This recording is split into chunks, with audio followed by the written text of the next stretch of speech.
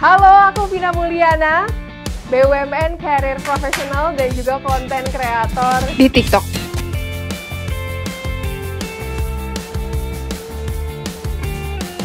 Cara aku bisa dapat kerja sebelum wisuda walau nggak ada pengalaman.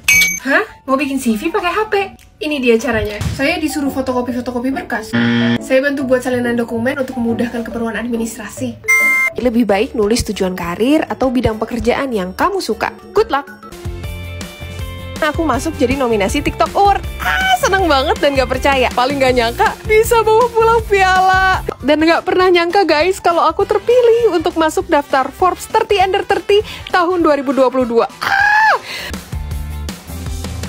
Terima kasih teman-teman online semua. Semoga dari kontenku teman-teman bisa senantiasa terbantu.